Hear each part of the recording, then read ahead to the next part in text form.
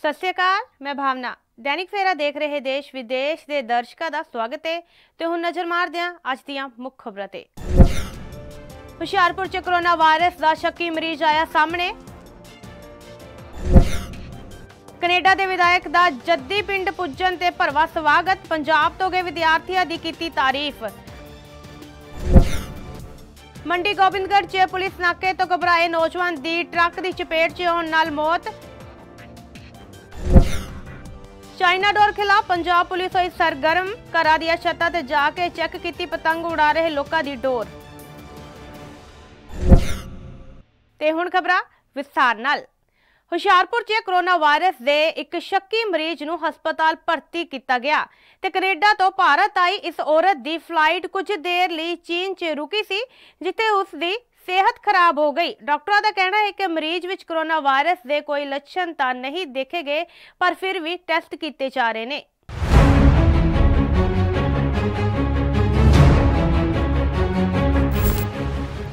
ਹੁਸ਼ਿਆਰਪੁਰ ਦੇ ਵਿੱਚ corona virus ਤੋਂ ਪੀੜਤ ਇੱਕ ਸ਼ੱਕੀ ਮਰੀਜ਼ ਨੂੰ ਹਸਪਤਾਲ ਦੇ ਵਿੱਚ ਦਾਖਲ ਕਰਵਾਇਆ ਗਿਆ। ਜਦੋਂ ਇਸ ਸੰਬੰਧੀ ਸਿਵਲ ਸਰਜਨ ਦੇ ਨਾਲ ਗੱਲਬਾਤ ਕੀਤੀ ਗਈ, ਤਾਂ ਉਹਨਾਂ ਦੱਸਿਆ ਕਿ ਉਕਤ ਔਰਤ ਕੈਨੇਡਾ ਤੋਂ ਭਾਰਤ ਆਈ ਹੈ ਜਿਸ ਦੀ ਫਲਾਈਟ ਕਰੀਬ 7 ਘੰਟੇ ਚੀਨ ਦੇ ਵਿੱਚ ਰੁਕੀ ਸੀ। ਤੇ ਇਸੇ ਦੌਰਾਨ ਹੀ ਉਸ ਦੀ ਸਿਹਤ ਵਿਗੜ ਗਈ ਜਿਸ ਨੂੰ ਪੰਜਾਬ ਪਹੁੰਚਦੇ ਹੀ ਸਪੈਸ਼ਲ ਟ੍ਰੀਟਮੈਂਟ ਦੇ ਅਧੀਨ ਰੱਖਿਆ ਗਿਆ। ਉਹਨਾਂ ਦੱਸਿਆ ਕਿ ਫਿਲਹਾਲ ਮਰੀਜ਼ ਦੇ ਵਿੱਚ ਕਰੋਨਾ ਵਾਇਰਸ ਦੇ ਕੋਈ ਲੱਛਣ ਤਾਂ ਨਹੀਂ ਪਾਏ ਗਏ ਪਰ ਇਸ ਸੰਬੰਧੀ ਟੈਸਟ ਜ਼ਰੂਰ ਕੀਤੇ ਜਾ ਰਹੇ ਨੇ। ਜਸਟ ਅਸੀਂ ਆਪਣੀ ਆਬਜ਼ਰਵੇਸ਼ਨ ਵਾਸਤੇ ਪੇਸ਼ੈਂਟ ਜਿਹੜਾ ਹੈਗਾ ਹੈ, ਅਹ, ਵੀ ਅਬਰੋਡ ਬਾਹਰੋਂ ਆਈ ਹਿਸਟਰੀ ਹੈਗੀ ਹੈ ਪਰ ਉਹ ਅਸੀਂ ਆਬਜ਼ਰਵੇਸ਼ਨ ਚ ਰੱਖੀ ਹੋਈ ਹੈ। ਹੋਮ ਬੇਸਡ ਕੇਅਰ ਦੇ ਵਿੱਚ ਹੈਗੀ ਹੈ ਤੇ 90% ਇੰਪਰੂਵ ਵੀ ਕਰ ਰਹੀ ਹੈ ਹੁਣ ਤੱਕ ਤਾਂ। ਤੇ ਮੋਸਟ ਲਾਈਕਲੀ ਕਾਮਨ ਕੋਲਡ ਹੈ। ਤਾਂ ਉਸ ਤਰ੍ਹਾਂ ਦੇ ਸਿੰਪਟਮ ਨਹੀਂ ਹੈਗੇ ਉਹਨਾਂ ਨੂੰ। ਪਰ ਅਸੀਂ ਆਪਣੇ ਜਿਹੜੇ ਹਸਪੀਟਲ ਦੇ ਵਿੱਚ ਜਿਹੜਾ ਡਿਸਟ੍ਰਿਕਟ ਲੈਵਲ ਦਾ ਹਸਪੀਟਲ ਹੈ, ਉੱਥੇ ਅਸੀਂ ਆਈਸੋਲੇਸ਼ਨ ਵਾਰਡ ਬਣਾਇਆ ਹੋਇਆ ਹੈ। ਔਰ ਜੋ ਵੀ ਗਾਈਡਲਾਈਨਸ ਨੇ ਐਡਵਾਈਜ਼ਰੀ ਗਵਰਨਮੈਂਟ ਦੀਆਂ ਹੈਗੀਆਂ, ਉਹ ਸਾਰੀਆਂ ਅਸੀਂ ਫੋਲੋ ਕਰ ਰਹੇ ਹਾਂ। ਔਰ ਜਿਹੜਾ ਵੀ ਹੈ ਕੇਸ ਇਸ ਤਰ੍ਹਾਂ ਦਾ ਕੋਈ ਬਾਹਰੋਂ ਟਰੈਵਲ ਹਿਸਟਰੀ ਵਾਲਾ ਆਏਗਾ, ਉਹ ਅਸੀਂ ਨੋਟ ਕਰਾਂਗੇ। ਔਰ ਅਸੀਂ ਸਾਰੇ ਆਪਣੇ ਜ਼ਿਲ੍ਹੇ ਦੇ ਵਿੱਚ ਕਹਿ ਰੱਖਿਆ ਹੈ ਆਪਣੇ ਸਟਾਫ ਨੂੰ ਕਿ ਕੋਈ ਵੀ ਇਸ ਤਰ੍ਹਾਂ ਦਾ ਕੋਈ ਫੋਰਨ ਟਰੈਵਲ ਦੀ ਹਿਸਟਰੀ ਦਾ ਪੇਸ਼ੈਂਟ ਆਉਂਦਾ ਹੈ, ਤਾਂ ਉਹ ਸਾਨੂੰ ਇਨਫੋਰਮ ਕਰਨ। ਜ਼ਿਕਰਯੋਗ ਹੈ ਕਿ ਚੀਨ ਦੇ ਵਿੱਚ ਕਰੋਨਾ ਵਾਇਰਸ ਦੇ ਮਰੀਜ਼ਾਂ ਦੀ ਗਿਣਤੀ ਵਧਣ ਤੋਂ ਬਾਅਦ ਪੂਰੇ ਭਾਰਤ ਦੇ ਵਿੱਚ ਵੀ ਇਸ ਨੂੰ ਲੈ ਕੇ ਅਲਰਟ ਜਾਰੀ ਕੀਤਾ ਹੋਇਆ ਹੈ। ਹੁਸ਼ਿਆਰਪੁਰ ਤੋਂ ਅੰਕੁਸ਼ ਗੋਇਲ, ਦੈਨਿਕ ਸੁਰਾ ਟੀਵੀ। ਕੈਨੇਡਾ 'ਚ ਵਿਧਾਇਕ ਬਣੇ ਨੌਜਵਾਨ ਅਮਰਜੋਤ ਸਿੰਘ ਸੰਧੂ ਦਾ ਉਸਦੇ ਜੱਦੀ ਪਿੰਡ ਪੁੱਜਣ ਤੇ ਪਿੰਡ ਵਾਸੀਆਂ ਵੱਲੋਂ ਭਰਵਾ ਸਵਾਗਤ ਕੀਤਾ ਗਿਆ।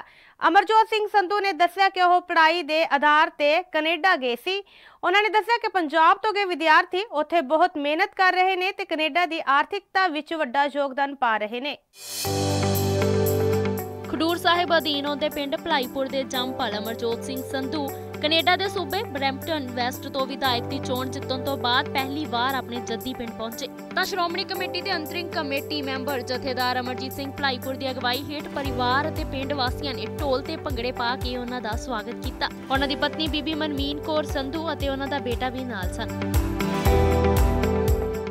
ਬਿਲਕੁਲ ਜੀ ਮੇਰਾ ਨਾਮ ਅਮਰਜੋਤ ਸੰਧੂ ਆ ਤੇ ਮੈਂ ਬਰੈਂਪਟਨ ਵੈਸਟ ਜਿਹੜਾ ਆਪਣਾ ਕੈਨੇਡਾ ਦਾ ਏਰੀਆ ਵਾ ਅੰਟਾਰੀਓ ਜਿਹੜਾ ਆਪਣਾ ਸੂਬਾ ਵਾ ਬਰੈਂਪਟਨ ਵੈਸਟ ਜਿਹੜਾ ਹਲਕਾ ਉਹਦੇ ਵਿੱਚੋਂ ਮੈਂ ਮੈਂਬਰ ਆਫ ਪ੍ਰੋਵਿੰਸ਼ੀਅਲ ਪਾਰਲੀਮੈਂਟ ਆ ਹਾਂਜੀ। ਤੇ ਸਰ ਜਿਹੜੀ ਨੌਜਵਾਨ ਪੀੜ੍ਹੀ ਆਪਣੀ ਪੰਜਾਬ ਤੋਂ ਕੈਨੇਡਾ ਸਟੱਡੀ ਤੇ ਜਾ ਰਹੀ ਆ ਹਾਂਜੀ। ਕੀ ਉਹ ਵਧੀਆ ਉਹਨੂੰ ਤੁਸੀਂ ਸਮਝਦੇ ਹੋ ਜਾਂ ਪੰਜਾਬ ਲਈ ਇੱਕ ਜਿਹੜਾ ਆਉਣ ਵਾਲੇ ਸਮੇਂ ਦੇ ਵਿੱਚ ਮਤਲਬ ਨੌਜਵਾਨ ਪੀੜ੍ਹੀ ਜਿਹੜੀ ਪੰਜਾਬ ਦੇ ਵਿੱਚੋਂ ਹਿਜਰਤ ਕਰ ਰਹੀ ਹੈ ਕੈਨੇਡਾ ਵੱਲ ਨੂੰ। ਉਹਦੇ ਬਾਰੇ ਤੁਹਾਡਾ ਕੀ ਕਹਿਣਾ? ਬਿਲਕੁਲ, ਮੈਂ ਤੇ ਆਪ ਇੱਕ ਸਟੂਡੈਂਟ ਦੇ ਤੌਰ ਤੇ ਗਿਆ ਸੀ ਜੀ ਕੈਨੇਡਾ ਦੇ ਵਿੱਚ। ਸੋ ਆਪਣੇ ਜਿੰਨੇ ਵੀ ਸਟੂਡੈਂਟ ਉੱਥੇ ਜਾਂਦੇ ਆ, ਪੰਜਾਬੀ ਬਹੁਤ ਮਿਹਨਤ ਕਰਦੇ ਆ। ਤੁਸੀਂ ਮੈਨੂੰ ਵੀ ਇੱਕ ਛੋਟੀ ਐਗਜ਼ਾਮਪਲ ਦੇ ਸਕਦੇ ਆ ਕਿ ਜਦੋਂ ਸਟੂਡੈਂਟ ਤੁਸੀਂ ਜਾਂਦੇ ਆ ਤੁਹਾਨੂੰ ਕਈ ਉੱਥੇ ਮੁਸੀਬਤਾਂ ਦਾ ਸਾਹਮਣਾ ਕਰਨਾ ਪੈਂਦਾ ਤੁਸੀਂ ਪਹਿਲਾਂ ਤਾਂ ਤੁਹਾਡਾ ਜਿਹੜਾ ਮੇਨ ਟੀਚਾ ਹੁੰਦਾ ਵਾ ਪੱਕੇ ਹੋਣ ਦਾ। ਜਦੋਂ ਤੁਸੀਂ ਪੱਕੇ ਹੁੰਨੇ ਆ ਫਿਰ ਜਿਹੜੀ ਕੰਟਰੀਬਿਊਸ਼ਨ ਸੁਸਾਇਟੀ ਦੇ ਵਿੱਚ ਜਿਹੜੀ ਕੰਟਰੀ ਲਈ ਆਪਾਂ ਜਿੱਥੇ ਗਏ ਆ ਉਹ ਕੰਟਰੀ ਨੂੰ ਵਾਪਸ ਦੇਣਾ ਚਾਹੇ ਤੁਸੀਂ ਉਹ ਪੋਲਿਟਿਕਸ ਰਾਹੀਂ ਦੇ ਲਓ ਚਾਹੇ ਕੋਈ ਬਿਜ਼ਨਸ ਰਾਹੀਂ ਦੇ ਲਓ ਚਾਹੇ ਕੋਈ ਹੋਰ ਜਿੱਦਾਂ ਵੀ ਕੋਈ ਫੀਲਡ ਦੇ ਵਿੱਚ ਆਪਣੇ ਕੰਮ ਕਰ ਰਹੇ ਆ। ਸੋ ਸਾਰੇ ਜਿਹੜੇ ਸਟੂਡੈਂਟਸ ਜਾਂਦੇ ਆ ਬੜੀ ਮਿਹਨਤ ਆਪਣੀ ਕਰਦੇ ਆ ਉੱਥੇ। ਅ, ਤੇ ਕਹਿ ਲਓ ਕਿ ਕੰਟਰੀ ਦੀ ਇਕਨੋਮੀ ਦੇ ਵਿੱਚ ਬਹੁਤ ਵੱਡਾ ਉਹਨਾਂ ਦਾ ਇੱਕ ਦੇਣ ਹੈ ਉਹਨਾਂ ਦੀ। ਸੋ ਬਹੁਤ ਵਧੀਆ ਲੱਗਦਾ ਜਦੋਂ ਆਪਣੇ ਸਟੂਡੈਂਟ ਜਾਂਦੇ ਸਾਰੇ ਉੱਥੇ. ਉੱਥੇ ਸਰ ਕਿਵੇਂ ਸਟੂਡੈਂਟ ਨੂੰ ਕੋਈ ਪ੍ਰੋਬਲਮ ਆਉਂਦੀ ਹੈ ਜਾਂ ਨਹੀਂ ਕੋਈ ਮਤਲਬ ਪ੍ਰੋਬਲਮ ਤੇ ਆਉਂਦੀ ਹੈ ਦੇਖੋ ਜੀ ਜਦੋਂ ਤੁਸੀਂ ਤੁਸੀਂ ਚਾਹੇ ਇੱਥੋਂ ਭਲਾਈਪੁਰ ਤੋਂ ਉੱਠ ਕੇ ਤੁਸੀਂ ਰਈਏ ਚਲ ਜਾਓ ਤੁਸੀਂ ਜਦੋਂ ਨਵੇਂ ਜਗ੍ਹਾ ਕਿਤੇ ਵੀ ਜਾਂਦੇ ਆ, ਤੁਹਾਨੂੰ ਪਹਿਲਾਂ ਥੋੜੀ ਟਾਈਮ ਪ੍ਰੋਬਲਮ ਆਉਂਦੀ ਆ। ਸੋ ਇਦਾਂ ਜਦੋਂ ਕੈਨੇਡਾ ਸਟੂਡੈਂਟ ਜਾਂਦੇ ਆ, ਪਹਿਲੇ 5-6 ਮਹੀਨੇ ਔਖੇ ਹੁੰਦੇ ਆ। ਤੁਹਾਨੂੰ ਸਿਸਟਮ ਨੂੰ ਸਮਝਣ ਨੂੰ ਥੋੜਾ ਟਾਈਮ ਲੱਗ ਜਾਂਦਾ ਵਾ। ਕੰਟਰੀ ਦੇ ਜਿਹੜੇ ਆਪਣਾ ਕਹ ਲਓ ਰੂਲਸ ਐਂਡ ਰੈਗੂਲੇਸ਼ਨਸ ਜਿਹੜੇ ਹੁੰਦੇ ਆ। ਬਾਕੀ ਕਿੱਦਾਂ ਉੱਥੇ ਰਹਿਣਾ ਵਾ, ਕਿੱਥੇ ਗਰੋਸਰੀ ਕਰਨ ਜਾਣਾ ਵਾ, ਕਿੱਥੇ ਪੜ੍ਹਨਾ ਵਾ, ਕੀ ਆ।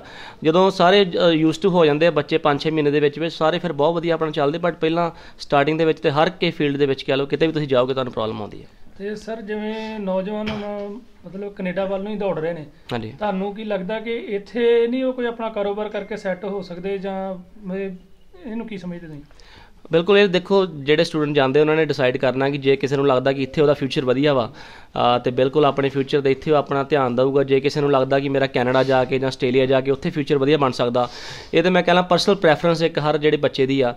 ਜੇ ਕਿਸੇ ਨੂੰ ਲੱਗਦਾ ਕੈਨੇਡਾ ਵਧੀਆ ਵਾ ਕੈਨੇਡਾ ਆ ਜਾਂਦੇ ਆ ਆਸਟ੍ਰੇਲੀਆ ਵਧੀਆ ਲੱਗਦਾ ਆਸਟ੍ਰੇਲੀਆ ਚਲ ਜਾਂਦੇ ਆ। ਖਡੂਰ ਸਾਹਿਬ ਤੋਂ ਰਵੀ ਖਹਿਰਾ ਦੈਨਿਕ ਸਵੇਰਾ ਟੀਵੀ। ਮੰਡੀ ਗੋਬਿੰਦਗੜ੍ਹ 'ਚ ਪੁਲਿਸ ਨਾਕੇ ਤੋਂ ਘਬਰਾਏ ਨੌਜਵਾਨ ਦੀ ਟਰੱਕ ਦੀ ਚਪੇਟ 'ਚ ਆਉਣ ਨਾਲ ਮੌਤ ਹੋ ਗਈ। ਇਸ ਹਾਦਸੇ ਤੋਂ ਬਾਅਦ ਮ੍ਰਿਤਕ ਦੇ ਪਰਿਵਾਰਕ ਮੈਂਬਰਾਂ ਤੇ ਹੋਰ ਲੋਕਾਂ ਨੇ ਪੁਲਿਸ ਖਿਲਾਫ ਨਾਅਰੇਬਾਜ਼ੀ ਕੀਤੀ ਤੇ ਪੁਲਿਸ ਦਾ ਕਹਿਣਾ ਹੈ ਕਿ ਇਸ ਵਿੱਚ ਪੁਲਿਸ ਦੀ ਕੋਈ ਵੀ ਅਣਗਹਿਲੀ ਨਹੀਂ ਹੈ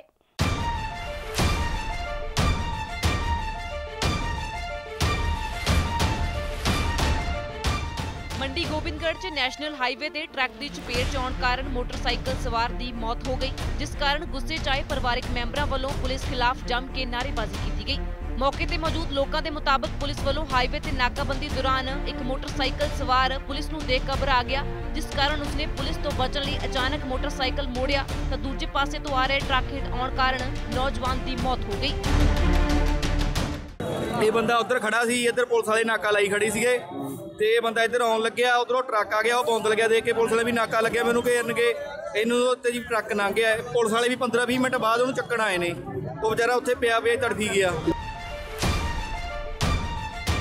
ਉਧਰ ਦੂਜੇ ਪਾਸੇ ਪੁਲਿਸ ਸਾਰੇ ਇਲਜ਼ਾਮਾਂ ਨੂੰ ਨਕਾਰਦੇ ਹੋਏ ਕਹਿ ਰਹੀ ਹੈ ਕਿ ਪੁਲਿਸ ਦੀ ਇਸ ਦੇ ਵਿੱਚ ਕੋਈ ਅਣਗਹਿਲੀ ਨਹੀਂ ਹੈ ਪਰ ਫਿਰ ਵੀ ਇਸ ਸੰਬੰਧੀ ਜਾਂਚ ਕੀਤੀ ਜਾ ਰਹੀ ਹੈ। ਨਾਕਾ ਆਮ ਰੂਟੀਨ ਦੇ ਵਿੱਚ ਡੇਲੀ ਸ਼ਹਿਰ ਦੇ ਵਿੱਚ ਨਾਕਾ ਲੱਗਦਾ ਆਮ ਪੁਲਿਸ ਦਾ ਨਾਕਾ ਸੀਗਾ। ਤੇ ਆਮ ਰੂਟੀਨ ਦੀ ਚੈਕਿੰਗ ਚੱਲਦੀ ਸੀ। ਉਹਦੀ ਕਿੰਨੀ ਕੁ ਕਿਸੇ ਦੀ ਅਣਗਹਿਲੀ ਜਾਂ ਕੋਈ ਲਾਪਰਵਾਹੀ ਹੈ ਉਹਦੀ ਫਰਦਰ ਇਨਵੈਸਟੀਗੇਸ਼ਨ ਬਾਅਦ ਦੇ ਵਿੱਚ ਹੋਏਗੀ ਲੇਕਿਨ ਮੌਕੇ ਤੇ ਕੋਈ ਇਹੋ ਜਿਹੀ ਅਣਗਹਿਲੀ ਨਹੀਂ ਪਾਈ ਗਈ ਕਿ ਮਤਲਬ ਪੁਲਿਸ ਦੀ ਅਣਗਹਿਲੀ ਕਰਕੇ ਜਾਂ ਕੋਈ ਪੁਲਿਸ ਤੋਂ ਵਜ੍ਹਾ ਕਰਕੇ ਇਹ ਹਾਦਸਾ ਹੋਇਆ। ਫਿਰ ਵੀ ਇਸ ਚੀਜ਼ ਨੂੰ ਨਾਲ ਦੀ ਨਾਲ ਬਚਿਆ ਜਾਏਗਾ ਤਬਦੀਲ ਦੇ ਨਾਲ। ਠੀਕ ਹੈ। ਫਿਲਹਾਲ ਪੁਲਿਸ ਵੱਲੋਂ ਲਾਸ਼ ਨੂੰ ਕਬਜ਼ੇ 'ਚ ਲੈ ਕੇ ਪੋਸਟਮਾਰਟਮ ਲਈ ਭੇਜ ਦਿੱਤਾ ਗਿਆ। ਫਤਿਹਗੜ੍ਹ ਸਾਹਿਬ ਤੋਂ ਸੰਜੇ ਸੈਣੀ, ਦੈਨਿਕ ਸਵੇਰਾ ਟੀਵੀ। ਚਾਈਨਾ ਡੋਰ ਨਾਲ ਵਾਪਰ ਰਹੇ ਹਾਦਸਿਆਂ ਤੋਂ ਛੁਟਕਾਰਾ ਦਿਵਾਉਣ ਲਈ ਪੰਜਾਬ ਪੁਲਿਸ ਸਰਗਰਮ ਹੋਈ ਨਜ਼ਰ ਆ ਰਹੀ ਹੈ। ਭਾਵੇਂ ਚਾਈਨਾ ਡੋਰ ਤੇ ਪਾਬੰਦੀ ਲੱਗੀ ਹੋਈ ਹੈ, ਪਰ ਇਸ ਦੇ ਬਾਵਜੂਦ ਬਹੁਤ ਥਾਵਾਂ ਤੇ ਇਹ ਡੋਰ ਧੜਲੇ ਨਾਲ ਵਿਕਰੀ ਹੈ। ਇਸ ਦੀ ਜਾਂਚ ਲਈ ਰੋਪੜ ਪੁਲਿਸ ਵੱਲੋਂ ਪਤੰਗ ਉਡਾ ਰਹੇ ਲੋਕਾਂ ਦੇ ਘਰਾਂ ਦੀਆਂ ਛੱਤਾਂ ਤੇ ਜਾ ਕੇ ਡੋਰ ਦੀ ਜਾਂਚ ਕੀਤੀ ਗਈ ਤੇ ਚਾਈਨਾ ਡੋਰ ਦੇ ਨੁਕਸਾਨ ਬਾਰੇ ਲੋਕਾਂ ਨੂੰ ਜਾਗਰੂਕ ਕੀਤਾ ਗਿਆ। ਰੋਪੜ ਪੁਲਿਸ ਵੱਲੋਂ ਬਸੰਤ ਪੰਚਮੀ ਮੌਕੇ ਚਾਈਨਾ ਡੋਰ ਦੀ ਵਰਤੋਂ ਨੂੰ ਲੈ ਕੇ ਚੈਕਿੰਗ ਕੀਤੀ ਗਈ। ਸਿਟੀ ਪੁਲਿਸ ਵੱਲੋਂ ਲੋਕਾਂ ਦੇ ਚੁਬਾਰਿਆਂ ਤੇ ਜਾ ਕੇ ਪਤੰਗਬਾਜ਼ੀ ਕਰ ਰਹੇ ਨੌਜਵਾਨਾਂ ਨੂੰ ਚਾਈਨਾ ਡੋਰ ਦੀ ਵਰਤੋਂ ਨਾ ਕਰਨ ਦੀ ਹਦਾਇਤਾਂ ਦਿੱਤੀਆਂ ਗਈਆਂ ਤੇ ਚੁਬਾਰਿਆਂ ਦੀ ਬਜਾਏ ਖੁੱਲੇ ਮੈਦਾਨਾਂ ਵਿੱਚ ਜਾ ਕੇ ਪਤੰਗਬਾਜ਼ੀ ਕਰਨ ਲਈ ਕਿਹਾ ਗਿਆ। ਬਸੰਤ ਪੰਚਮੀ ਦਾ ਤਿਹਾਰ ਹੋਣ ਕਰਕੇ ਐਸਐਸਪੀ ਸਾਹਿਬ ਨੇ ਸ਼ਹਿਰ ਦੇ ਵਿੱਚ ਵੱਖ-ਵੱਖ ਜਗ੍ਹਾ ਤੇ ਚੈਕਿੰਗ ਕਰਨ ਵਾਸਤੇ ਹਦਾਇਤ ਕੀਤੀ ਹੈ ਤੇ ਜਿਹੜੀ ਚਾਈਨਾ ਡੋਰ ਵਿਕਦੀ ਹੈ, ਸ਼ਹਿਰ ਦੇ ਵਿੱਚ ਜਾਂ ਵਰਤੋਂ ਕਰਦੇ ਲੋਕ, ਉਹਦੇ ਨਾਲ ਹਾਦਸੇ ਹੁੰਦੇ ਨੇ, ਲੋਕਾਂ ਦਾ ਜਾਨੀ ਨੁਕਸਾਨ ਹੁੰਦਾ ਹੈ।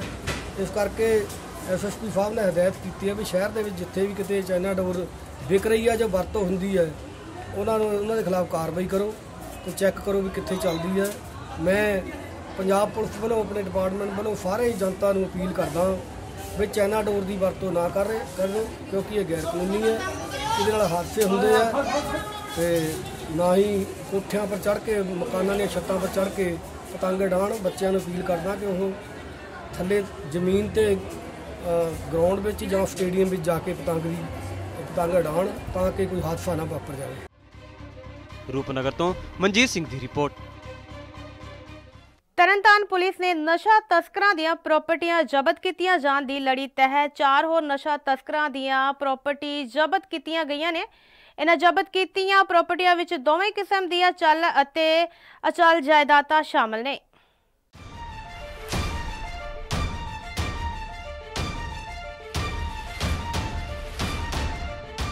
ਤਰਨਤਾਰਨ ਪੁਲਿਸ ਵੱਲੋਂ ਨਸ਼ਾ ਤਸਕਰਾਂ ਤੇ ਸ਼ਿਕੰਜਾ ਕਸਦਿਆਂ ਉਹਨਾਂ ਵੱਲੋਂ ਨਸ਼ੇ ਦੀ ਕਾਲੀ ਕਮਾਈ ਤੋਂ ਬਣਾਈਆਂ ਗਈਆਂ ਜਾਇਦਾਦਾਂ ਨੂੰ ਜ਼ਬਤ ਕੀਤਾ ਜਾ ਰਿਹਾ ਜਿਸ ਦੇ ਚਲਦਿਆਂ ਪੁਲਿਸ ਨੇ ਚਾਰ ਹੋਰ ਨਸ਼ਾ ਤਸਕਰਾਂ ਦੀ 15 ਕਰੋੜ ਰੁਪਏ ਦੀ ਜਾਇਦਾਦ ਨੂੰ ਜ਼ਬਤ ਕੀਤਾ ਹੈ। ਜਿਸ ਵਿੱਚ ਫਾਰਮ ਹਾਊਸ ਕੋਠੀਆਂ, ਜ਼ਮੀਨਾਂ, ਵਾਹਨ ਆਦਿ ਸ਼ਾਮਲ ਨੇ। ਇਸ ਬਾਰੇ ਪੁਲਿਸ ਨੇ ਦੱਸਿਆ ਕਿ ਹੁਣ ਤੱਕ ਜ਼ਿਲ੍ਹੇ ਦੇ 33 ਨਸ਼ਾ ਤਸਕਰਾਂ ਦੀ 37 ਕਰੋੜ 1 ਲੱਖ 16923 ਰੁਪਏ ਦੀ ਸੰਪਤੀ ਜ਼ਬਤ ਹੋ ਚੁੱਕੀ ਹੈ। ਸਮਗਲਰਸ ਦੇ ਆਰਡਰਸ ਆਏ ਸੀ। ਇਹਦੇ ਵਿੱਚ ਇੱਕ ਤਾਂ ਕਾਫੀ ਇਹ ਨੋਨ ਡਰਗ ਪੈਡਲਰਸ ਹੈ, ਗਰਜਨ ਸਿੰਘ ਮੱਖਣ ਸਿੰਘ ਹੈ ਜਗਦੇਵ ਸਿੰਘ ਹੈ ਸਨ of ਮੱਖਣ ਸਿੰਘ। ਇਹਨਾਂ ਦੇ ਆਰਡਰਸ ਆਏ ਸੀ ਤੇ ਇਹਨਾਂ ਦੇ ਤਕਰੀਬਨ 10.5 ਕਰੋੜ ਦੀ ਪ੍ਰਾਪਰਟੀ ਦੇ ਕੱਲ ਫੀਸਰ ਦੇ ਆਰਡਰ ਜਿਹੜੇ ਹੈ, ਉਹ ਕੰਪੀਟੈਂਟ ਅਥਾਰਟੀ ਹੈ। Competent authority ministry of finance government of India ਉਹਨਾਂ ਵੱਲੋਂ ਆਰਡਰਸ ਆਏ ਹੈ। ਜਿਹੜੇ ਵੀ ਕਮਰਸ਼ੀਅਲ ਕੁਆਂਟੀਟੀ ਦੇ ਡਰੱਗ ਸਮਗਲਰਸ ਹੁੰਦੇ ਆ, ਉਹਨਾਂ ਦੇ ਅਸੀਂ ਸਪੈਸ਼ਲ ਕੇਸਿਸ ਤਿਆਰ ਕਰਕੇ ਉੱਥੇ ਦਿੱਲੀ ਭੇਜਦੇ ਹਾਂ। ਉਹ ਸਾਰੇ ਕੇਸ ਫਿਰ ਪ੍ਰੋਸੈਸ ਹੁੰਦੇ ਆ ਉਸ ਦਾ ਪ੍ਰੋਪਰ ਲੀਗਲ ਪ੍ਰੋਸੀਜਰ ਹੈ। ਜਿਹੜਾ ਦਿੱਲੀ ਦੇ ਵਿੱਚ ਫਾਲੋ ਹੁੰਦਾ ਹੈ ਔਰ ਜਦੋਂ ਫਾਈਨਲ ਫਿਰ ਫੀਸਿੰਗ ਦੇ ਆਰਡਰ ਆ ਜਾਂਦੇ ਆ ਉਹ ਅਪਰੂਵ ਕਰਕੇ ਫਿਰ ਸਾਨੂੰ ਮਿਲਦੇ ਹਨ ਅਸੀਂ ਉਹਨਾਂ ਦੀ ਨਾਲ ਦੀ ਨਾਲ ਹੀ ਪਾਲਣਾ ਕਰਾਉਂਦੇ ਆ ਤੇ ਕਿੰਨੀ ਹੋ ਚੁੱਕੀ ਹੈ?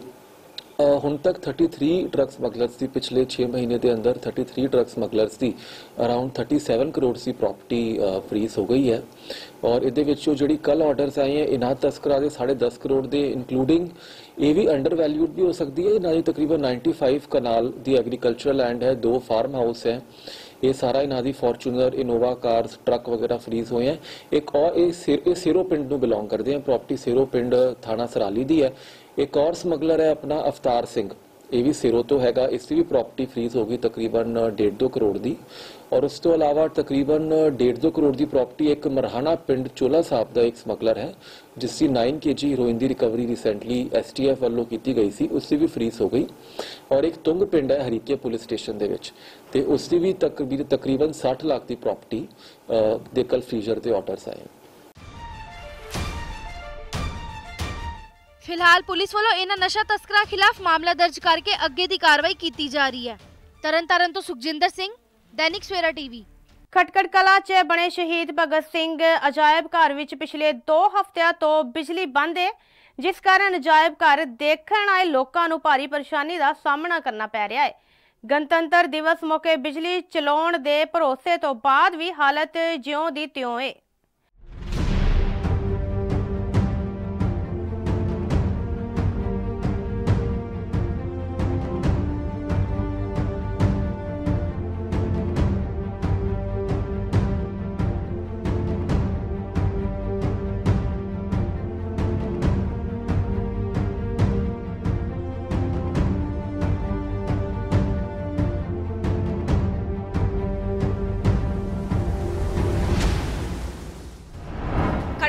ਵਿਖੇ ਸ਼ਹੀਦ ਭਗਤ ਸਿੰਘ ਦੇ ਮਿਊਜ਼ੀਅਮ 'ਚ ਛਾਇਆ ਹਨੇਰਾ।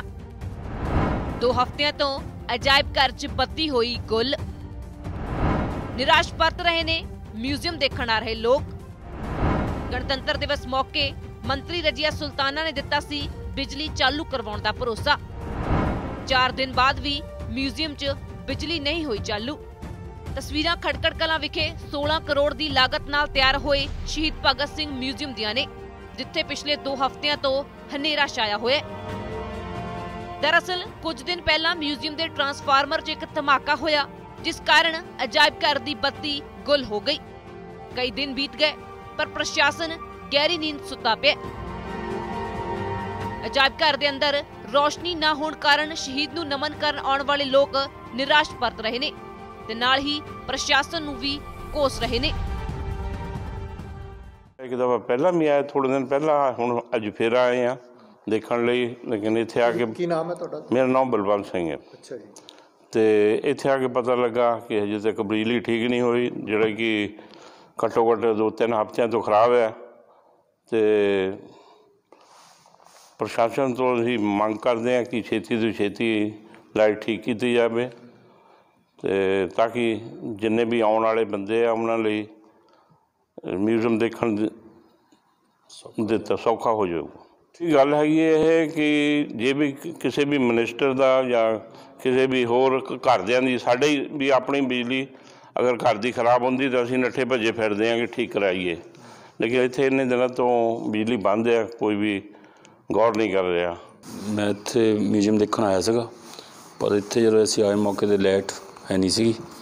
ਫਿਰ ਅਸੀਂ ਪਤਾ ਕੀਤਾ ਪ੍ਰਬੰਧਕਾਂ ਤੋਂ ਤਾਂ ਉਹ ਕਹਿੰਦੇ 13 ਤਰੀਕ ਤੋਂ ਲਾਈਟ ਮਤਲਬ ਇੱਥੇ ਬੰਦ ਆ।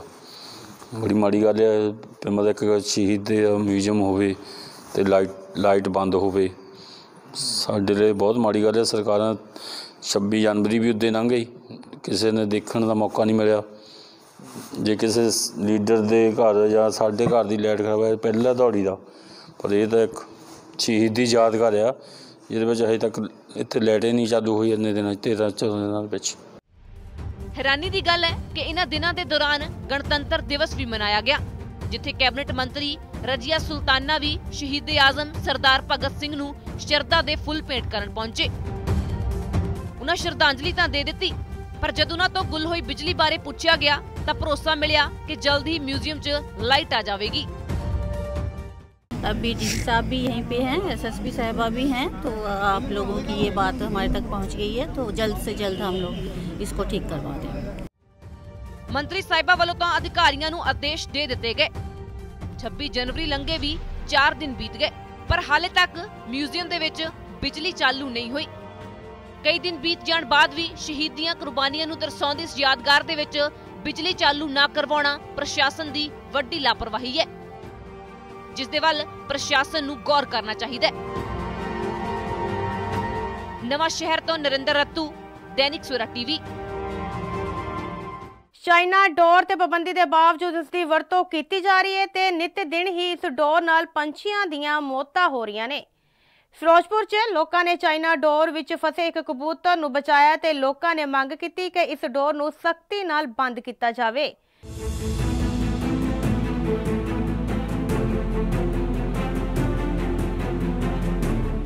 ਫਿਰੋਜ਼ਪੁਰ 'ਚ ਇੱਕ ਪਾਸੇ ਜਿੱਥੇ ਬਸੰਤ ਪੰਚਮੀ ਦਾ ਤਿਉਹਾਰ ਬੜੀ ਧੂਮਧਾਮ ਨਾਲ ਮਨਾਇਆ ਜਾ ਰਿਹਾ ਹੈ ਉੱਥੇ ਹੀ ਚਾਈਨਾ ਡੋਰ ਪੰਛੀਆਂ ਲਈ ਮੌਤ ਦਾ ਫੰਦਾ ਬਣ ਰਹੀ ਹੈ। ਇਹੋ ਜਿਹਾ ਮਾਮਲਾ ਦੇਖਣ ਨੂੰ ਮਿਲਿਆ ਫਿਰੋਜ਼ਪੁਰ 'ਚ ਜਿੱਥੇ ਇੱਕ ਕਬੂਤਰ ਚਾਈਨਾ ਡੋਰ 'ਚ ਬੁਰੀ ਤਰ੍ਹਾਂ ਨਾਲ ਫਸ ਗਿਆ ਤੇ ਜਿਸ ਨੂੰ ਤੜਪਦਾ ਦੇਖ ਲੋਕੀ ਉਸ ਨੂੰ ਬਚਾਉਣ ਲਈ ਜੁਟ ਗਏ। ਕਾਫੀ ਮੁਸ਼ਕਲ ਤੋਂ ਬਾਅਦ ਉਸ ਨੂੰ ਥੱਲੇ ਲਾ ਕੇ ਤੇ ਉਸ ਦੇ ਪੰਖਾਂ 'ਚ ਫਸੀ ਚਾਈਨਾ ਡੋਰ ਨੂੰ ਕੱਢਿਆ ਗਿਆ। ਤੱਕ ਪ੍ਰਕੋਪ ਜਿਹੜਾ ਹੈ? ਦੇਖੋ ਜੀ ਪਹਿਲਾਂ ਤਾਂ ਹੀ ਪਕਸ਼ੀਆਂ ਦਾ ਹੀ ਪਕਸ਼ੀ ਪਹਿਲਾਂ ਟਾਵਰਾਂ ਕਰਕੇ ਮੋਬਾਈਲਾਂ ਕਰਕੇ ਕਿ ਬੜੇ ਘੱਟ ਰਹੇ ਨੇ ਪਕਸ਼ੀ ਹੁਣ ਚਾਈਨਾ ਡੋਰਾ ਆ ਗਈ, ਉਹਦੇ ਕਰਕੇ ਹਰੇਕ ਦਿਨ ਕੋਈ ਨਾ ਕੋਈ ਪਕਸ਼ੀ ਜ਼ਰੂਰ ਮਰਿਆ ਹੁੰਦਾ ਅਸੀਂ ਜ਼ਰੂਰ ਵੇਖਦੇ ਹਾਂ, ਕੋਈ ਟਾਵਰ ਤੇ ਲੰਮਕ ਰਿਹਾ, ਕੋਈ ਤਾਰ ਨਾਲ ਲੰਮਕ ਰਿਹਾ, ਕੋਈ ਡੋਰਾ ਨਾਲ ਲੰਮਕ ਰਿਹਾ। ਪਰ ਉਹਦੇ ਤੇ ਕੋਈ ਕੋਈ ਕਿਸੇ ਦਾ ਵਸ ਨਹੀਂ ਹੈਗਾ, ਚਾਈਨਾ ਡੋਰ ਨੂੰ ਬੰਦ ਕੀਤਾ ਜਾਵੇ, ਪੂਰੀ ਸਖਤੀ ਨਾਲ ਬੰਦ ਕੀਤਾ ਜਾਵੇ। ਇਹਨਾਂ ਨਾਲ ਸਾਰੇ ਸਾਥ ਦੇਵਾਂਗੇ ਸਰਕਾਰ ਨੂੰ ਬੇਨਤੀ ਕਰਦੇ ਆ ਕਿ ਚਾਈਨਾ ਡੋਰ ਬੰਦ ਕਰੋ। ਉੱਥੇ ਹੀ ਲੋਕਾਂ ਨੇ ਸਰਕਾਰ ਤੋਂ ਮੰਗ ਕੀਤੀ ਹੈ ਕਿ ਇਸ ਡੋਰ ਨੂੰ ਜਲਦ ਤੋਂ ਜਲਦ ਬੰਦ ਕੀਤਾ ਜਾਏ ਤਾਂ ਕਿ ਪੰਛੀ ਅਤੇ ਇਨਸਾਨਾਂ ਨੂੰ ਕਿਸੇ ਤਰ੍ਹਾਂ ਦਾ ਕੋਈ ਨੁਕਸਾਨ ਨਾ ਪਹੁੰਚ ਸਕੇ। ਇਹ ਸਾਰੇ ਸਾਰਾ ਚਾਈਨਾ ਡੋਰ ਕਰਕੇ ਜੋ ਨੁਕਸਾਨ ਹੋ ਰਿਹਾ ਹੋ ਰਿਹਾ ਚਾਈਨਾ ਡੋਰ ਦੇਖੋ ਕਿੰਨਾ ਨੁਕਸਾਨ ਕਰਦੀ ਵੀ ਹੈ। ਪਕਸ਼ੀਆਂ ਵੀ, ਪਕਸ਼ੀ ਵਿਚਾਰੇ ਵਿੱਚ ਫਸ ਜਾਂਦੇ ਨੇ, ਉਹਨਾਂ ਕੋਲ ਉੱਡਿਆ ਜਾਂਦਾ ਨਹੀਂ ਮੁੜ ਕੇ। ਤੇ ਵਿਚਾਰਾ ਜੋ ਉਹਨਾਂ ਨੂੰ ਜਾਨ ਤੋਂ ਆਪ ਆਪੀ ਨੂੰ ਹੱਥ ਧੋਣਾ ਪੈਂਦਾ ਹੈ। ਤੇ ਗਵਰਨਮੈਂਟ ਕਹਿੰਦੀ ਵੀ ਚਾਈਨਾ ਡੋਰ ਤੇ ਕੰਟਰੋਲ ਹੈ। ਕੋਈ ਕੰਟਰੋਲ ਨਹੀਂ ਹੈਗਾ। ਸ਼ਰੇ ਆਮ ਉਸ ਤੋਂ ਹੀ ਦਿਖ ਰਹੀ ਹੈ। ਪੂਰੇ ਜ਼ੋਰ ਨਾਲ ਤੇ ਨਾ ਲੋਕੀ ਇਸ ਚੀਜ਼ ਦੀ ਕੋਈ ਪਰਵਾਹ ਕਰਦੇ ਨੇ। ਲੋਕਾਂ ਨੂੰ ਆਪਦਾ ਇੰਜੋਏ ਜ਼ਰੂਰ ਕਰਨਾ ਚਾਹੀਦਾ ਹੈ। ਲੇਕਿਨ ਹਰ ਚੀਜ਼ ਨੂੰ ਧਿਆਨ ਦੇ ਵਿੱਚ ਰੱਖ ਕੇ ਤਾਂ ਕਿ ਕਿਸੇ ਦਾ ਕੋਈ ਨੁਕਸਾਨ ਨਾ ਹੋਵੇ। ਤੇ ਆਪਾਂ ਤੇ ਇਹੋ ਹੀ ਸਾਰਿਆਂ ਕੇ ਅਰਜ਼ ਕਰਨੇ ਆ ਗੁਜ਼ਾਰਿਸ਼ ਕਰਨੇ ਆ ਵੀ ਚਾਈਨਾ ਡੋਰਾ ਤੋਂ ਬੰਦ ਕੀਤੀ ਜਾਵੇ ਆਪਦਾ ਇੰਜੋਏ ਕਰੋ ਲੇਕਿਨ ਦੂਜੀ ਡੋਰਾ ਚਲਾਓ ਜਿੰਦੇ ਨਾਲ ਕਿਸੇ ਦਾ ਕੋਈ ਨੁਕਸਾਨ ਨਾ ਹੋਵੇ। ਫਿਰੋਜ਼ਪੁਰ ਤੋਂ ਅਕਸ਼ੇ ਗਲੋਤਰਾ ਦੀ ਰਿਪੋਰਟ ਦੈਨਿਕ ਸਵੇਰਾ ਟੀਵੀ। ਤੇ ਸੀ ਹੁਣ ਤੱਕ ਦੀਆਂ ਖਾਸ ਖਬਰਾਂ ਵਧੇਰੇ ਜਾਣਕਾਰੀ ਲਈ ਜੁੜੇ ਰਹੋ ਦੈਨਿਕ ਸਵੇਰਾ ਦੇ ਨਾਲ।